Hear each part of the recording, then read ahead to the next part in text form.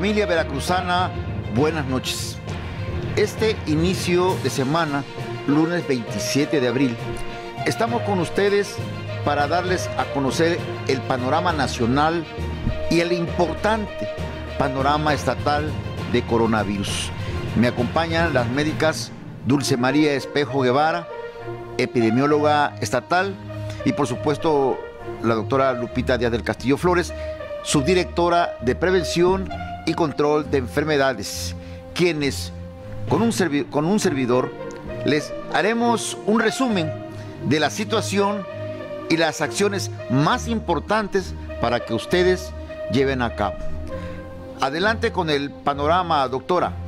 En el Estado, con la participación de todas las instituciones del sector salud y privadas, se han estudiado 2.215 casos sospechosos de padecer la enfermedad. En 1.560 la prueba de laboratorio específica fue negativa, por lo que se han descartado de tener el padecimiento.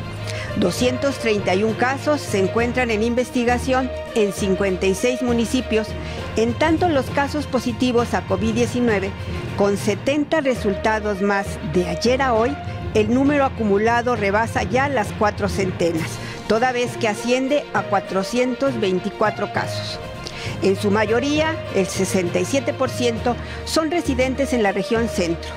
en donde Veracruz con 159 y Boca del Río con 41 son los municipios en los que se está dando la mayor transmisión, seguido de Jalapa y Orizaba con 10 cada uno el 23% ya con dispersión en la región sur-sureste, en donde Coatzacoalcos con 46 positivos a expensas de su cabecera municipal es la que más casos tiene, seguida de Minatitlán con 12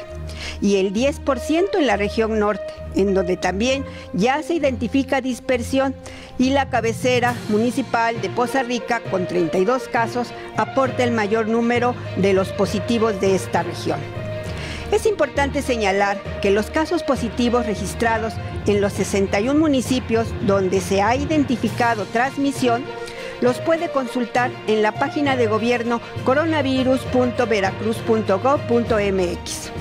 La velocidad con la que se está dando la transmisión en el estado, como se muestra en la gráfica, observamos un incremento de los casos positivos a COVID-19 activos, que son aquellos que iniciaron su padecimiento en los últimos 14 días y ya representan el 62% del total, con una tendencia franca al ascenso en la curva de los casos acumulados, los cuales rebasan ya las cuatro centenas. Reiteramos, la transmisión se está expandiendo cada día al interior de las localidades donde ya hay casos positivos, como hacia aquellas en las donde aún no las hay. Esto continuará de esta manera si no se acatan las recomendaciones de evitar al máximo la movilización de personas de una población a otra, en donde hasta el momento 166 de los pacientes se consideran recuperados, sobre todo los atendidos en forma ambulatoria pero 224 aún permanecen en vigilancia con las recomendaciones de prevención y aislamiento.